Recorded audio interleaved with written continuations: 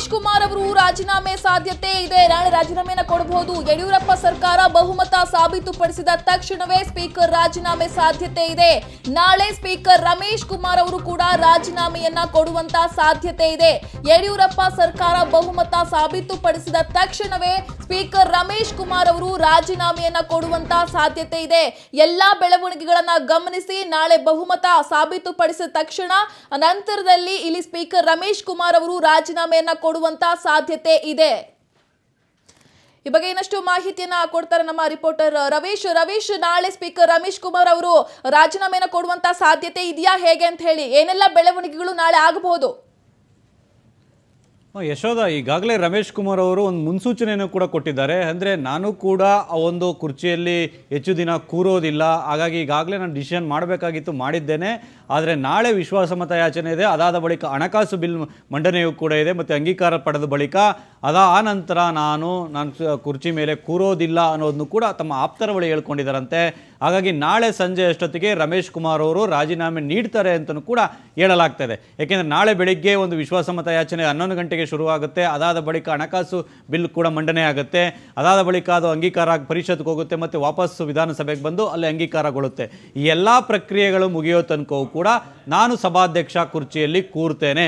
ಅದಾದ ಬಳಿಕ ಗೊತ್ತಿಲ್ಲ ಅನ್ನೋದನ್ನು ಕೂಡ ತಮ್ಮ ಆಪ್ತರ ಬಳಿ ಹೇಳ್ಕೊಂಡಿದ್ದಾರಂತೆ ಹಾಗಾಗಿ ನಾಳೆ ಸಂಜೆ ಅಷ್ಟೊತ್ತಿಗೆ ರಮೇಶ್ ಕುಮಾರ್ ಅವರು ತಮ್ಮ ಸ್ಥಾನಕ್ಕೆ ರಾಜೀನಾಮೆಯನ್ನು ಕೂಡ ಕೊಡ್ತಾರೆ. ಒಂದು ವೇಳೆ ಉಪಸಭಾಧ್ಯಕ್ಷರು ಕೂಡ ರಾಜೀನಾಮೆ ಕೊಡದೇ ಇದ್ದರೆ ನೇರವಾಗಿ ಅವರು ರಾಜೀನಾಮೆ ಕೊಡ್ತೇನೆ ಅಂತ ಘೋಷಣೆ ಮಾಡಿ ಸದನದಲ್ಲೇ ಅದನ್ನು ಉಪಸಭಾಧ್ಯಕ್ಷರಿಗೂ ಕೂಡ ಆ ಒಂದು ರಾಜೀನಾಮೆ ಪತ್ರವನ್ನು ಕೂಡ ಕೊಡ್ಬೋದಾಗಿದೆ. ಹಾಗಾಗಿ ಇಬ್ಬರೂ ಕೂಡ ಒಟ್ಟಿಗೆ ಕೊಟ್ಟಂಥ ಸಂದರ್ಭದಲ್ಲೂ ಕೂಡ ರಾಜ್ಯಪಾಲರ ಬಳಿ ತೆರಳುವಂಥ ಚಾನ್ಸಸ್ ಕೂಡ ಜಾಸ್ತಿ ಇರುತ್ತೆ.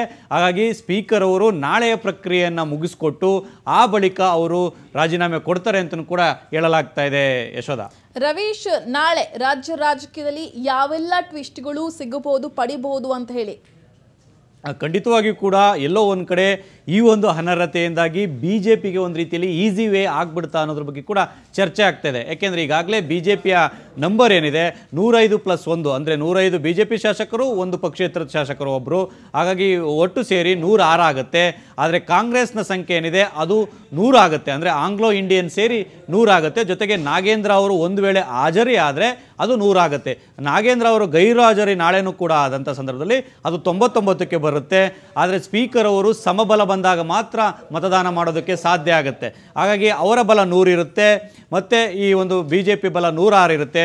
ಅದ್ರ ಜೊತೆಗೆ ಮಹೇಶ್ ಅವರು ನಾಳೆನೂ ಕೂಡ ತಟಸ್ಥರಾಗಿರ್ತಾರೆ ಅನ್ನೋದು ಕೂಡ ಕಾದು ನೋಡಬೇಕಾಗಿದೆ. ಹಾಗಾಗಿ ಒಟ್ಟಾರೆಯಾಗಿ ಎಲ್ಲೋ ಒಂದು ಕಡೆ ಈ ಒಂದು ಅನರ್ಹತೆಯಿಂದಾಗಿ ಬಿ ಜೆ ಪಿಗೆ ಈಸಿ ಆಗ್ಬಿಡ್ತಾ ಅನ್ನೋದ್ರ ಬಗ್ಗೆ ಚರ್ಚೆ ಆಗ್ತಾ ಇದೆ. ಹಾಗಾಗಿ ಬಿ ಜೆ ಪಿ ಕೂಡ ಸಾಕಷ್ಟು ಒಂದು ರೀತಿಯಲ್ಲಿ ಆತ್ಮವಿಶ್ವಾಸದಿಂದನೇ ಇದೆ ಅಂತಲೂ ಕೂಡ ಹೇಳ್ಬೋದಾಗಿದೆ. ಹಾಗಾಗಿ ನಾಳೆ ಒಂದು ರೀತಿಯಲ್ಲಿ ಸುಗಮವಾಗಿ ವಿಶ್ವಾಸಮತ ಯಾಚನೆಯನ್ನು ಯಡಿಯೂರಪ್ಪನವರು ಮಾಡಿ ಗೆದ್ದು ಬಿಡ್ತಾರಾ ಅನ್ನೋದ್ರ ಬಗ್ಗೆ ಕೂಡ ಈಗ ಕೇಳಿ ಬರ್ತಾ ಇರತಕ್ಕಂಥ ಚರ್ಚೆ Yashoda. Okay thank you Ravish